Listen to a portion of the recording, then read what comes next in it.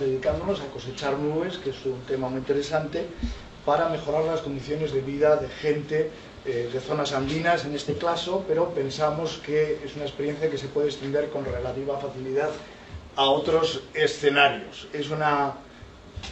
idea que surgió de la mano de un grupo de gente distinta, con recursos del NERD Group, que ha salido citado frecuentemente en la sesión de hoy y con la participación de nuestras contrapartes pues en este caso en Bolivia y en Perú. Bien, eh, es la típica ONG del País Vasco, nacimos en el año 1991, somos una entidad pequeña, no somos una transnacional de la cooperación y por tanto parecería pensarse pues que en lo que son temas de innovación tenemos relativamente poco que aportar. Desde el año 91 estamos trabajando, actualmente nuestras zonas de intervención pues es el eje andino de forma muy clara, aunque por distintos motivos también estamos presentes en África y en Asia, en Filipinas. Y como casi todas las ONGs del sector, pues atendemos tres tipos de cuestiones. Las famosas necesidades básicas insatisfechas, cuestiones de emergencia muchas veces, los proyectos destinados a mejorar la renta familiar disponible, queremos la famosa caña de pescar, o en otros sitios pues la defensa activa de los derechos humanos porque constituyen elementos necesarios para que haya un desarrollo integral. Y como todo el mundo también, pues intentamos que nuestro trabajo parta desde el análisis de las vulnerabilidades y de, y de, y de las limitantes que tiene el territorio donde está la población. Bien, con ese escenario, lo que percibíamos, percibe cualquiera también, pues es que una de las grandes limitantes para el desarrollo de las poblaciones empobrecidas es precisamente el deterioro de los servicios del ecosistema. En la medida en que la gente tiene que desarrollarse vinculada a la tierra y a los recursos naturales, sobre todo en escenarios en los que el 70 o el 80% de la población activa es población activa agraria, los recursos naturales se constituyen pues, en el eje sobre el que apoyas o no tienes nada que apoyar. Y lo cierto es que esos deterioros de los servicios ambientales son causa y consecuencia de la pobreza. En muchos de los sitios concurren dos tipos de fenómenos, lo que podríamos llamar los fenómenos exógenos, los que la población no puede controlar, pero que hacen que se deterioren los servicios ambientales, y sobre esto suele añadirse los problemas endógenos, los que genera la propia población pues, por distintos motivos y por distintas circunstancias. En el escenario que presento, que es el de los valles cruceños, una región eh, de la zona central de Bolivia, poco convencional, porque no es una zona de las alturas boliviana, poco convencional porque tampoco son los grandes llanos de conexión con Brasil, sino una zona de conexión entre dos culturas, la de las alturas, la de origen quechua en este caso, y la de los llanos de origen tupé guaraní en el otro, que ha sido ocupada por un grupo de gente en un motivo relativamente, en un momento relativamente reciente de la historia. Son más bien ocupadores del territorio y gente, por tanto, que ha llegado a ese territorio sin una tradición cultural previa que les haya permitido una adaptación de su trabajo, de su, de su desarrollo en base a la realidad y a las potencialidades del terreno. Eso ha hecho que en un periodo de tiempo relativamente corto el impacto ambiental haya sido desgraciadamente muy elevado. Bien, entre los fenómenos eh, exógenos que allí no pueden controlar están esas referencias al cambio climático. Eh, es cierto que desde que tenemos datos históricos,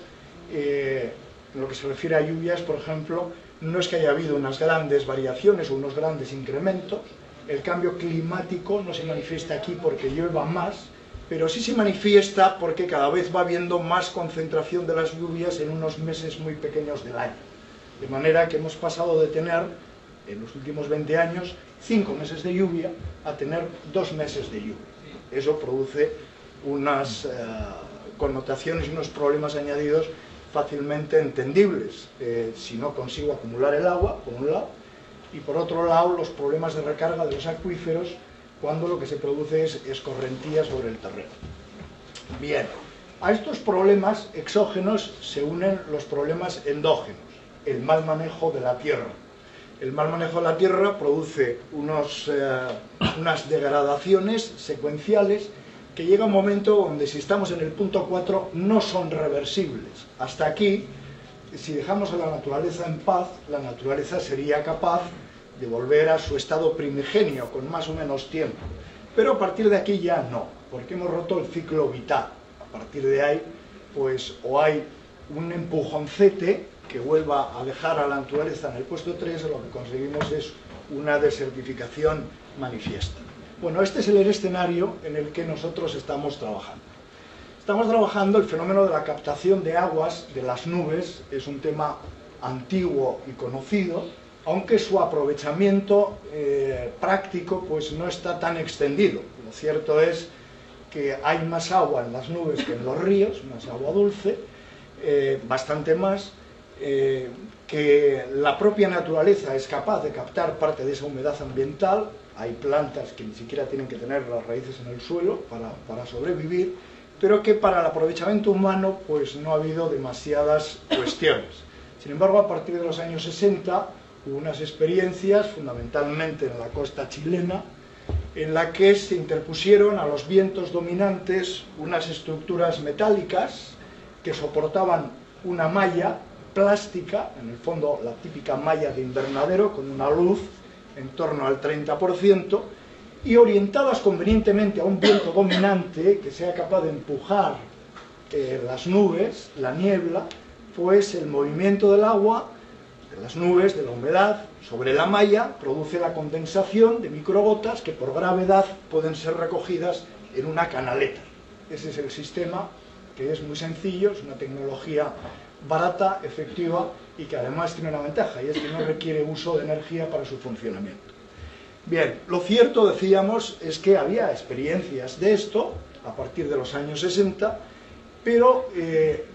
desde el punto de vista nuestro, ONG, que nos encontrábamos en ese escenario de problemas de agua, nos extrañaba que no hubiera ninguna extensión de los, de los sistemas funcionando. ¿Por qué la población no es capaz de aprovechar esto? Nos encontramos con un par de cuestiones curiosas. Una, que la mayoría de las experiencias eh, estaban en zonas costeras en las que se daban algunas condiciones especiales. Era la existencia de algunos vientos dominantes de mar a costa, que eran los que trasladaban la humedad, la diferencia de temperatura relativamente fuerte entre mar y tierra, que producía los vientos de una forma constante,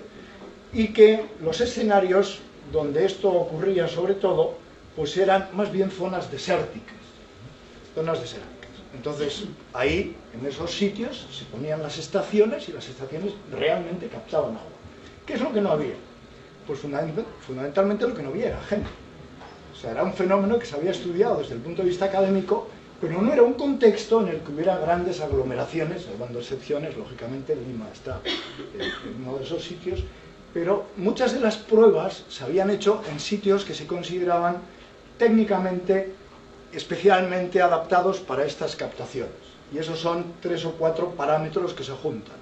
Uno, que no sean grandes distancias de la costa, estábamos hablando de hasta 30 kilómetros de distancia de la costa,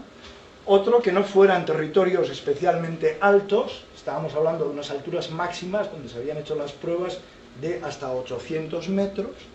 y otro, de altura, y otro que los vientos dominantes fueran de temporada, y de manera que hubiera una serie de meses seguidos donde la presencia de las nieblas, de las garúas o de las, eh, las camanchacas de la, de la costa pues pudieran ser captadas de forma continua. Bien, a nosotros nos pareció que merecía la pena el analizar si era posible captar nieblas en otros escenarios y a través de la ayuda que nos facilitó el NER Group, pues fue cuando iniciamos un piloto hace tres años que ha tenido buenos resultados, a partir del cual ya estamos en fase operativa con estos procesos pues en otros sitios. Bien, eh, ¿Cuál es la novedad que aportábamos nosotros como ONG, que nos dedicamos al desarrollo? Pues aportábamos eh, varias novedades sobre lo que se había experimentado hasta el momento. En primer lugar, que a nosotros lo que nos preocupaban era el desarrollo de las personas, no el medio ambiente. Nuestro proyecto no era de recuperación ambiental, nuestro proyecto era cómo conseguir mejorar las condiciones de vida de una gente que no se iba a mover de ese territorio que si yo hubiera tenido que organizar a la población antes de que estuviera, tal vez no les hubiera dicho que fueran a ese territorio, porque era especialmente débil, pero es que ya están, y yo no soy nadie para sacarles de allí, ni tengo posibilidad de hacerlo. Por tanto, parte de nuestro trabajo está en intentar ayudar a la gente a que vivan en una conexión con las posibilidades locales de manera que aquello pueda funcionar. Lo segundo es que íbamos a hacer el experimento en su fase piloto en una zona no convencional, que era una zona que estaba situada a 1.500 kilómetros de la costa, que estaba situada a 2.500 metros de altura y que además no tenía nieblas de temporada. Pero nos parecía que lo que sí había era un problema, y es que había gente que necesitaba agua. Y lo tercero o último, pues es que lo conectábamos como una solución complementaria dentro de un proceso de gestión de microcuencas integral. Nunca hemos pensado que el tema de las captaciones de nieblas pueda ser la solución absoluta para los problemas de agua de nadie. O en algún caso concreto sí, pero en general, socialmente, puede ser un elemento valioso si está contemplado dentro de una estrategia mucho más amplia que contempla otras cuestiones. En nuestro caso, un trabajo con una trayectoria ya de 20 años en el que están implicados muchos, eh, muchos otros componentes, desde la estructuración de reservas del patrimonio natural hasta los sistemas de riego optimizados, hasta el desarrollo de capacidades en las personas para que todo esto pudiera cuajar. Bien, estructuramos la fase piloto en cuatro localizaciones diferentes, con seis puntos de control en Perú y Bolivia, en seis escenarios diferentes, en todos estableciendo una batería de neblinómetros de control, eh, que son los que se utilizan en, todas partes, de un metro cuadrado, y otros eh, neblinómetros ya de captación de agua, orientados en este caso a la reforestación. Lo que queríamos conseguir probar o analizar es si una instalación provisional durante un periodo de tiempo relativamente corto de estos puede permitir la regeneración de la naturaleza de una zona de manera que en un tiempo relativamente corto la propia vegetación que ha conseguido sobrevivir gracias al proceso pase a hacer la labor de captación que hacen los captadores artificiales, es decir, retrotraer el proceso de degradación de cuatro niveles al nivel 3 y a partir de ahí que la cosa funcione sola. Eh, bien, como se trataba de, entrar a temas de reforestación, establecimos eh, tres especies diferentes, locales, en cada uno de los escenarios. Establecimos también tres sistemas de riego diferentes y ocho réplicas y una serie de mecanismos de control que nos permitían que los datos pudieran ser eh, consolidados. Bien, pues estas son las estructuras eh, con recogidas de datos y recogidas de agua y sistemas de riego que complementamos con algunos procesos de aprovechamiento eh, de agua en zonas que tienen mucha radiación solar. Eh, sistemas muy sencillos, enterrar una botella boca abajo que hace que el agua permee en, el, terreno más allá de la zona de insolación, que es la que produce más evaporación, sistemas con microgeles que son capaces de retener el agua y poder distribuirla de manera un poco más tranquila y un poco más sosegada, o captadores individuales que pusimos incluso en los propios plantines. La metodología experimental, que duró un año, pues eh, requería el registro de presencia de nieblas, que se, hacía de forma visual, o sea, un tío mirando, hay niebla, no hay niebla, a punto. Eh, las condiciones meteorológicas, que se hizo a través de estaciones, que estas sí recogían datos cada 30 minutos, me parece que era, vía sensores instalados en todos los puntos, el seguimiento de los rendimientos de los neblinómetros, que son los mecanismos estandarizados para poder controlar los datos con otras geografías, y luego el seguimiento del desarrollo de los plantines, porque al final no nos bastaba con conseguir agua, sino teníamos que ver si conseguíamos sobre todo regenerar la parte forestal. Bien, lo que nos encontramos después de un año fue que efectivamente en un escenario en el que inicialmente no se hubiera considerado que es una alternativa posible, la presencia de nieblas es una constante razonable que no tiene un periodo eh, concreto donde se sepa que siempre va a haber, hay que estar, hoy hay niebla, mañana no hay niebla, pero que termina teniendo una presencia importante durante una serie de días. Y sobre todo un dato que para nosotros era muy válido y es que las nieblas se presentaban fuera de la temporada de lluvias. La temporada de lluvias había quedado aquí acotada a dos meses y medio y la temporada de nieblas eh, antecedía un mes y medio a la temporada de lluvias y lo continuaba. De manera que con otros tres, cuatro meses de nieblas nos encontrábamos un panorama de siete meses en los que era posible eh, tener eh, captaciones, de, captaciones de agua. Bien, eh, vientos que son necesarios, algunos requisitos técnicos que tienen los mecanismos, los datos. Los datos que nos encontramos es, en este escenario concreto, solo me refiero a uno de ellos, que sería el más desfavorable, teóricamente, nos encontramos con captaciones que superaban eh, estos mecanismos de captación horizontal más de 20 litros de agua diarios por cada metro cuadrado de instalación. empezaban a ser unas cifras importantes, porque tirar metros de malla pues, no es eh, demasiado complicado. Y unas, eh, unos rendimientos medios mensuales por cada metro de instalación de 100 litros, ¿eh? Lo cual para sitios donde las nieblas se presentan menos de la mitad de los días, pues estaba bastante bien. bien, en lo que se refiere a la supervivencia de plantines, desde esquemas en los que estábamos eh, con riego al suelo generalizado a través de mecanismos en torno a un 50% que hace que sean inviables los procesos, nos hemos situado en rendimientos medios en torno al 95% de la supervivencia de los plantines en la zona y con algunas de las especies significativamente en el 100%. Eh, y además con crecimientos medios superiores a los esperados, no solamente la supervivencia del plantín. El plantín tiene un problema de supervivencia al estrés hídrico de, la, parte seca del año. Con este mecanismo, en vez de tener que soportar eh, nueve meses y medio, pues pasaba a tener que soportar tres meses. Sobrevivía y ya enganchaba con el siguiente ciclo y podía eh, seguir funcionando. Bien, esto como conclusiones, pues decir que en escenarios no convencionales, donde hay presencias de nieblas, como el volumen de captación es muy elevado, más incluso que el de la costa, sorprendentemente, las experiencias originales de Chile daban rendimientos medios de 12 litros por metro cuadrado de instalación, y se considera que es un sistema que puede ser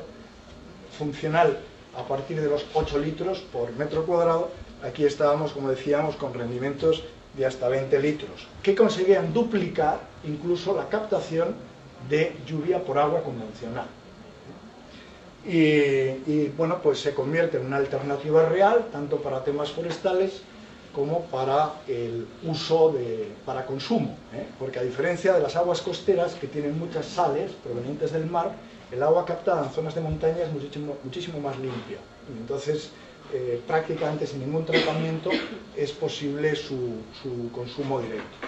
Me parece que hay aquí, no sé si saldrá, no sale, bueno, había un pequeño vídeo también